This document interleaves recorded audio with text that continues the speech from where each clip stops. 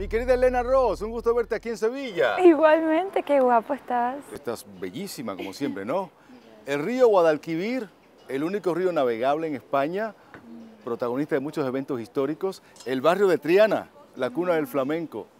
Estamos en un lugar emblemático de esta bonita ciudad, en un momento muy especial, tu nominación al Latin Grammy como compositora del año. ¿Qué se siente? Me siento muy agradecida, de verdad. Además, estar rodeada de personas tan mágicas, tan talentosas, en un lugar tan mágico también, que nos recibe con tanto cariño, disfrutando cada paso, cada momento. Estoy acá con mi familia también y eso es muy significativo para mí. La única mujer en esa categoría, ¿te sientes intimidada con tantos hombres nominados? No, ni lo había pensado, te digo. Más bien veo muy importante la perspectiva de que más de ser mujer o de ser hombre en la categoría, es la primera vez que hacen esta categoría y ya de por sí es histórico que mi nombre esté ahí, que el nombre del resto de las personas que están ahí esté ahí. Entonces, más bien pienso en lo que va a venir después, ¿sabes? En que ya se ha abierto una puerta para los compositores, para los creativos, que realmente son la espina dorsal de la industria, la gente que escribe las letras. Y para mí es un orgullo, yo más bien lo veo como un motivo para celebrar, para sentirme agradecida, para inspirarme, para honrar a las mujeres de mi familia que me han hecho la mujer que soy también y las otras mujeres que me han también inspirado a ser la mujer que soy, así que no, puras cosas lindas en verdad. Se ha compuesto grandes éxitos ¿no? para estrellas muy importantes, uh, Raúl Alejandro, Carol G, Yatra, y ahora estás haciendo la transición a la cantada, ¿no? Ahora te ponemos el título de cantautora. ¿Qué se siente? ¿Qué, qué, esperas? Porque ya estás trabajando en tu primera producción. Sí, yo agradezco cada paso que me ha traído acá. Todo ha sido un proceso. Yo soy una mujer muy creyente y siempre le pido a Dios que me dé las cosas cuando esté lista para recibirlas, para realmente hacer algo con lo que me da. Eh, dejar algo bonito, traer algo bonito a la mesa. Y yo creo que todo me ha preparado Em, para poder defender mi mensaje. Escribir para otros artistas no fue algo que yo busqué, fue algo que me encontró y que yo acepté con amor. Y agradezco porque me di cuenta del montón de herramientas que me hacían falta para, como te digo, estar de frente. Entonces, me siento preparada. Caracas en el 2000, ¿cómo surgió el tema?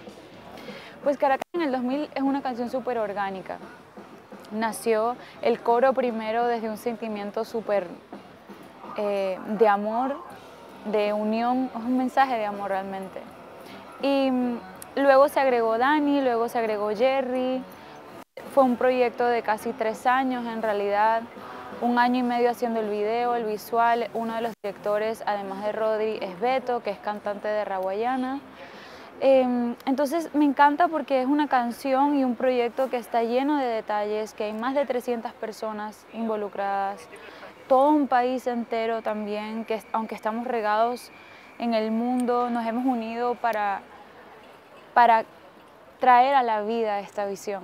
Y que la gente está conectando tan bonito, para mí es un honor, para mí es un orgullo porque no es mi canción. Yo también la primera vez que la escuché me sorprendí, yo también me conmoví, yo también lloro yo también la siento como si no la hubiera escrito yo, como si gracias a Dios en ese momento me tocó a mí pues canalizarla junto con Dani, junto con Jerry y que es un abrazo para los inmigrantes más que los venezolanos.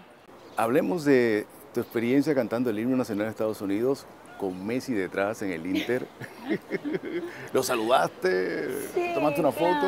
¿Qué tal? No me tomé una foto, pero sí nos saludamos súper amoroso. Fue algo además que si te cuento, yo 15 horas antes estaba en Puerto Rico cantando con Mora en su primer choli que nos invitó. Entonces fueron días súper ajetreados, súper casi que hasta que llegué a España no entendí ni qué hora era, ni qué día era. Eh, pero aunque fue algo súper a último minuto, fue súper mágico y agradezco haber dicho que sí, aunque estaba muy nerviosa, porque el himno yo siempre lo digo que es algo que yo lo tomo con mucha seriedad y que es una gran responsabilidad interpretarlo. Hay que hacerlo bien. Hay que hacerlo bien, sí o sí, no importa. Y yo tengo un equipo maravilloso que yo sé que creen en mí, pero yo les digo a ellos, o sea, creen en mí de verdad porque no he dormido nada. Eh, y nada, gracias a Dios salió súper bonito, él también recibió súper bonito, estaba su familia, llevó el balón de oro. eh, fue mi familia también, mi hermano estaba súper contento. Entonces fue un, momento, fue un momento mágico que también en Venezuela lo recibieron bonito y yo por mí feliz. Por ahí están diciendo que Messi le sonrió a Venezuela. Qué bonito. Y me gusta, sí, así lo tomo también. Mañana miércoles estarás en un evento muy especial. Yo digo que, que es uno de, los, de las ceremonias de esta semana de Latin Grammy más importante, que es Persona del Año, dedicada a una cantautora también, Laura Pausini. ¿Cómo te estás preparando para cantar y cuál sería el tema que se puede decir que vas a interpretar de Laura Pausini? Pues te digo, nuevamente para mí es un honor desde que me dijeron para hacerlo. Es una mujer que admiro muchísimo, es una mujer que, wow, también ha logrado tantas cosas y ha abierto tantas puertas para otras mujeres en la industria. Yo creo que conmemorarla y honrarla, pues me contenta un montón. Y mm, la canción creo que el nombre no lo podemos decir, pero Nadie se va a enterar.